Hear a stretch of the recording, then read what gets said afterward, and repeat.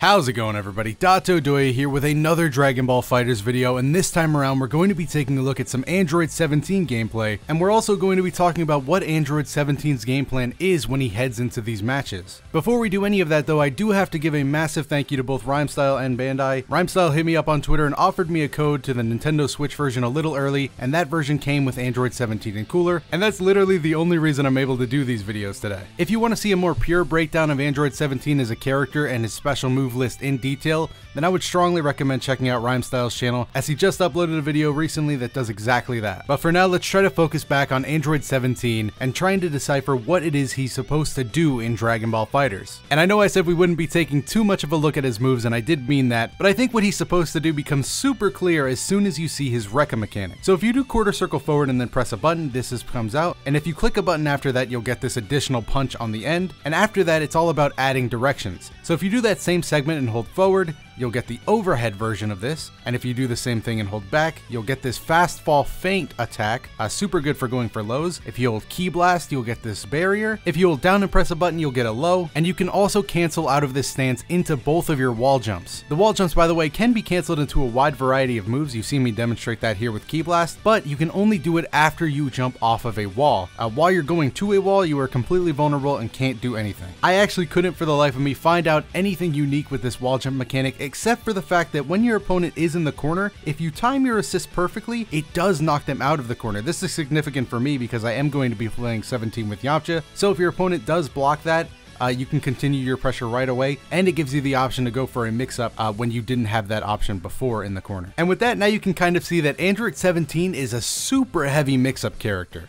This is definitely a character designed to be run on point so that he can get the most mileage out of trying to open up his opponents with this Rekka system. There are of course gaps in the string when you do try to go for the overhead, so you're going to want to cover that with an assist or by conditioning your opponent heavily. If you do plan on playing 17, now might be the time to start learning conditioning in fighting games. You're going to want to really study how your opponents reacts to things you do so that you can plan accordingly for the next time you have them in block stun. If you can do that, I can see you getting a lot of mileage out of Android 17. 17. I think when played at his best, you'll see Android 17s using this system not only for mix-ups, but also going for the quarter circle back version as well, as another form of a feint to get their opponents to show their hands metaphorically on defense, to seeing how they react when they see Android 17 about to start a Rekka. This system isn't the only thing that makes Android 17 unique, he also has a chargeable Ki Blast much like base Goku's Spirit Bomb, only for 17 he can only charge it once and then throw it and then rinse and repeat. What I really like about this move is that it stops Super Dash in its tracks and also sends the opponent flying in a straight downward line, making it super good in the clutch when your opponent is down to their last character.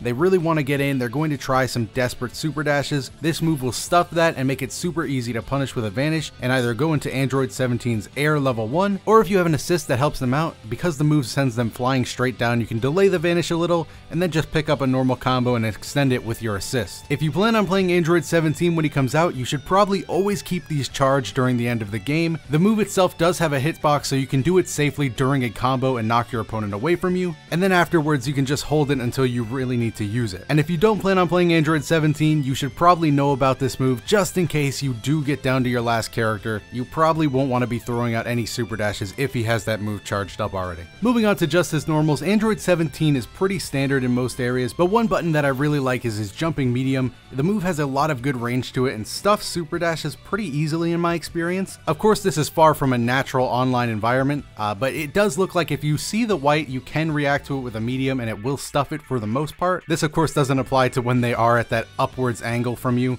uh, then you should probably just stick to your down heavy or blocking in that case. Other than that though, everything else is pretty much standard here. His down heavy, standing heavy, and jumping heavy all pretty much function to similar ones we have in the game already. Where there is definitely more to talk about though is in Android 17 specials. Much like a lot of other characters, Android 17 does have two level 1 supers, he has one that can only be performed on the ground and one that can be performed only in the air. So where I assumed he was almost like Bardock in the fact that he could do his level 1 wherever he wanted, be it on the ground or in the air, uh, it's actually not like that at all. On the ground he has endgame where he teleports behind the opponent, launches a flurry of attacks, and then ends up on the opposite side of the opponent, making this super awkward to perform in the corner because it costs you your corner pressure, which is something that a mix-up character like 17 really would rather not have. This makes going for his aerial level 1 on knockdown opponents much better, and there's two different ways you could go about this. You could either A, do the combo normally and then time it right before you hit the ground and let it launch, or you can do something a little more technically demanding and land and then instantly jump and perform the input right away. That should work for you as well, although I will be the first one to say that doing this on the Nintendo Switch controller was pretty difficult, but I did eventually get it down pretty consistently. And of course his level 3 functions like most other level 3s in the game,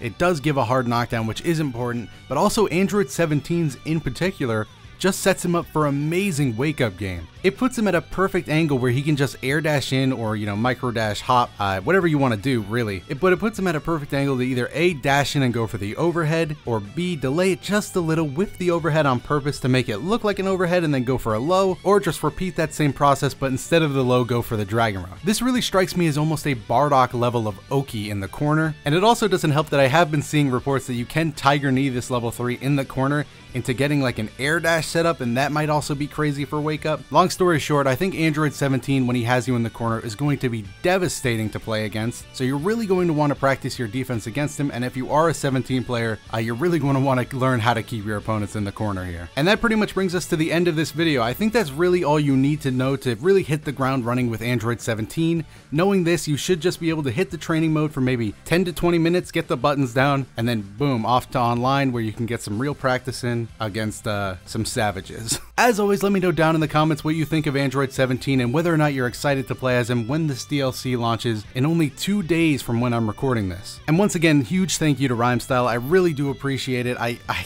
I honestly can't thank you enough. It was so much fun getting to try out the Switch version. Uh, and I actually do want to do a Switch version review, so let me know if any of you would be interested in that. Uh, spoiler alerts if you made it to the end of the video. The Switch version is actually really good. Uh, but yeah. Anyway, guys, while you're down in the comments, if you like these videos and want to see more like them, make sure to hit the like button and subscribe. I'm DotoDoya, and I'll see you in the next video.